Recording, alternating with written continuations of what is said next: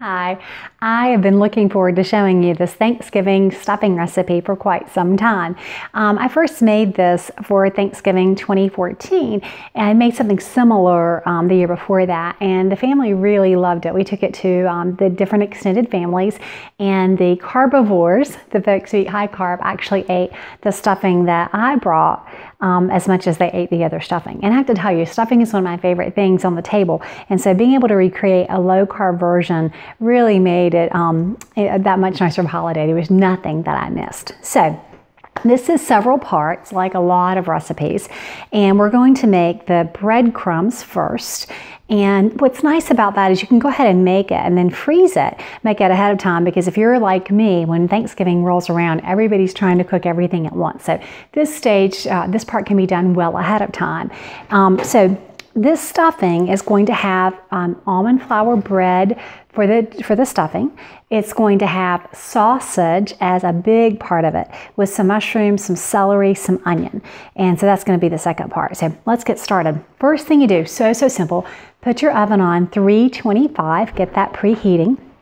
You're going to take two cups of fine almond flour and you're going to add four beaten eggs. This is four eggs that I um, was beating earlier. Okay, four eggs. Then you're going to, oops, I'm off to a great start. Then I'm going to add, and I probably should have done this before my eggs, but I'm going to add two teaspoons of baking powder, not baking soda, two teaspoons baking powder. I'm going to add a half teaspoon of garlic powder. This really doesn't have a lot of flavor, so adding garlic powder is a great idea. I'm going to put sage in the portion that has um, uh, sausage in it, but you could also add some sage to this step as well if you like sage. And then I'm going to add salt, and this is about a teaspoon of salt. So let me give that a mix first. I've got my two cups of almond flour, my four eggs, two teaspoons of baking powder, a half teaspoon of garlic powder, and a teaspoon of salt. And I'm going to add melted butter. That's five tablespoons of melted butter. It looks like a lot.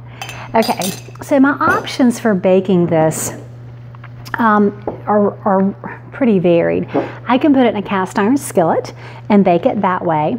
I can put it on parchment paper and bake it that way.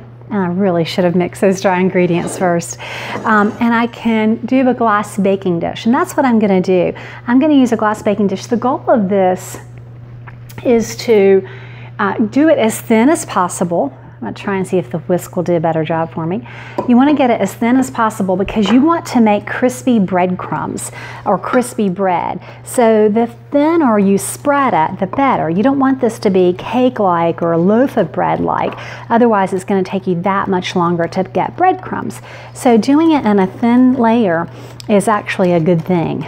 So that's doing a lot better. We've got that mixed up, and so I've chosen a really uh, large baking dish to put this in so that it doesn't take as long to bake, and it's going to be a little more crispy. And what I do with this is I pour it out um, to bake it. Bake it at 325, depending on the size of pan you use, um, and depending on how thin it is, it's going to take about 15, 20, maybe even 25 minutes. So it depends totally on, on you. I'd start checking it at about 12 minutes and just keep an eye on it. And I'm going to show you what it should look like. So I'm spreading it just around the pan pretty evenly. And that's it. So that's going in the oven. But I have some that I made earlier that I want to show you. Okay. Now, this was made earlier, and I've just had it in a Ziploc bag. What I do, once the it's done, once it's browned on top, and you get an idea of how it browns, once it's brown, I usually crumble it. Now these are larger pieces because I wanted to be able to show you, but I crumble it up, put it on a baking uh, tray or in that dish in my oven with the door open and the oven light on. With the door open and the oven light on, it dries out and I do that overnight. So you want to make the bread. Now you can eat it like this before you, um, you know, if you wanted to make some to have for dinner, you can do that. But I made this especially to um, have for our stuffing. the thing I want to tell you about this stuffing is traditional Thanksgiving stuffing or dressing, as we call it in the South, is kind of the texture is mushy, it's soft. Um, or at least it always has been at our house. This is going to have a, more of a cornbread texture, and you can probably see from looking at it, it's more of a cornbread kind of looking bread. Um, I, to make it more floury, I probably could have added some oat fiber. And if you have some, you can certainly do that. Um, you know, I'm addicted to oat fiber, but I have not experimented with oat fiber. And this is crisp. You can almost hear it crunch. You may be able to see as I'm crunching it up. But um, it did sit overnight in the oven with the door open, and that's what allows it to crisp up. But it's hard to get crispy sometimes with almond flour products. So it's kind of nice that this does dry out to make a nice breadcrumb.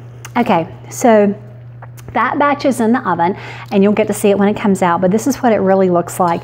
You crumble it up in more breadcrumb type um, crumbles and I, I like it, I like there to be some fairly large bits. And so let's take, you can see what it looks like. Um, let's take this over to the stove and we'll fry up the sausage and add the other yummy ingredients for step two. Okay, so I've browned a pound of ground of sausage. Um, now this is just a favorite sausage for us. It's a sage sausage, and it is um, it's just it's really tasty. And I've just browned it in the skillet, and it's in fairly small pieces, um, as you can see. So as the sausage is browning, you want to add some onion to this. This is one third cup of onion. You can add more, and in fact, the first time I made it, I did add more. I did put one small onion finely chopped, and then when I started adding up carb counts, I decided it wasn't worth it. So I backed off on the onion. And really, this is going to give it a lot of flavor. You could add some onion juice if you wanted, but um, a third of a cup of onion really is sufficient when you look, especially at the carb amounts. So that's a third cup of onion. This is a half cup of finely chopped celery and a half cup is about two stalks. So again, we're not adding a lot of carbs, but some good flavor with the celery. It's interesting when you start doing the carb counts and you realize that even though the vegetables, you know, we think of veggies as healthy and you add all the veggies you want. And so I had kind of done that with abandon. And then when I started paying a lot of attention, I thought, okay, when I add more sausage, I don't get carbs, but when I add more veggies, I add more carbs. And so that's why I try to err on the side of adding more meat rather than vegetables. I'm also going to add mushrooms. Now, I'm probably going to have a problem with Thanksgiving with the family this year because I don't think they realize mushrooms are in this. They don't like mushrooms, but they really do like this low carb uh, stuffing. The mushrooms are about texture. And what I love to do is add, well, this is a cup. I like to use a mixture of mushrooms. Uh, Trader Joe's is a great blend of shiitake and Bella. This is Bella. These are baby Bella mushrooms. Um, use whatever you like and whatever you can find handily at the store. If you don't like mushrooms, by all means, leave them out. But really, mushrooms don't have a lot of flavor. Um, they do have good B vitamins and they do add texture, and that's why I like them. They have kind of that mushy, soft texture um, that traditional stuffing has. So it's more about texture than taste in this instance. Okay, instance. Um, I'm going to brown the onion, brown the um, mushroom, and brown the celery. To that, I'm going to add a teaspoon of sage. And this is not fresh sage, this is dried sage, but you could use fresh if you wanted. And the sage makes it so, so good. And I'm going to also add one clove of garlic. So that's just a clove of garlic. And get that good, a good mix. Um, don't drain the fat off the sausage because you're going to want that with the breadcrumbs. Now, this is going to brown. And again, just like the, um, the breadcrumbs, this is something you can make ahead of time. You can brown the sausage, you can uh, go ahead and put the vegetables in it, and then set it aside to cool. So this is something you easily make a day or two ahead of time. You could even make it longer and freeze it. So you could freeze up the sausage mix, freeze up the bread mix, and then get it ready to put together. So let's put it together. That's going to brown up. I'm not quite ready for it yet, but I'm going to turn it down. so that it doesn't burn. And I'll show you what we're gonna do. Okay, so remember that I had the breadcrumbs from that we had that I had baked ahead of time. So these are those large breadcrumbs. To that, I'm going to add, can that be seen? To that, I'm going to add my cooled sausage mixture. It hasn't cooled yet. Um, but I'm also going to make a mixture with the broth, the bone broth, egg. Move all this out of the way. I hope you can see it. Okay, so I've got two eggs, half cup of chicken broth. Actually, this is homemade bone broth.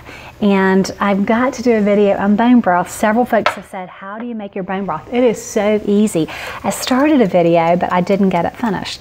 But anyway, so I've got two eggs, a half a cup of homemade bone broth, or use bouillon if that's what you have, or store-bought broth. But you want broth for all that wonderful flavor. And this is one quarter cup of um, heavy cream. So that's a quarter cup of heavy cream. Three ingredients, super, super easy. It's all my wet ingredients, the cream, the eggs, the broth. Okay, and I'm just gonna let that all talk to itself. And it's about time to put it all together, or talk to each other, not talk to itself. Now, I haven't brown this probably as much as I would when I, uh, but it's going to bake. So, but you want to get it nice and brown. You want the onion to be a little brown, kind of caramelized, because that's when all the flavor comes out of it. So you're going to want to do this until that's brown, probably a good 10 minutes or so, but we don't have time for that right now. so we're not going to do that. So let me move this out of the way. I'm gonna grab this guy. And ideally, the sausage mixture would probably be cooled a little more than this. Gonna mix it in here.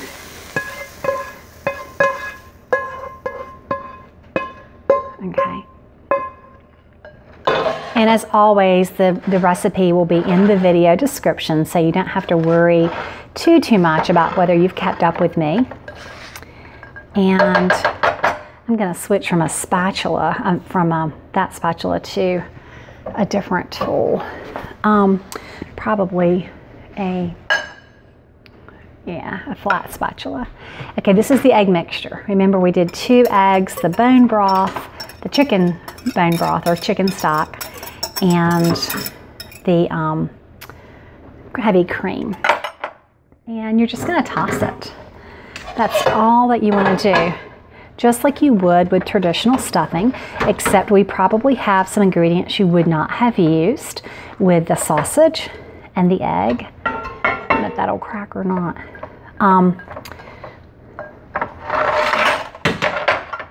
and once you give it all a good mix, and, and interestingly, some of you are probably thinking egg. The egg taste does not show up. It really doesn't. As it bakes, it just is kind of rich and wonderful. Okay, so we're gonna bake this at 350. And I'm trying to remember, I think it goes about 20 to 25 minutes. I'll confirm that. Whoops. And it smells so yum in here. It smells like Thanksgiving with the sage and the garlic and all the wonderful, the sausage, the onion. It smells so good. And you can see it's still fairly dry and those breadcrumbs will absorb. And if you aren't afraid of the raw eggs, you can taste it to see if it needs salt or anything else. And that's it. I'm gonna put that in the oven to bake and it will be perfect for an early Thanksgiving feast for my family. I hope that you try this recipe and I hope that it becomes a part of your new low carb holiday tradition.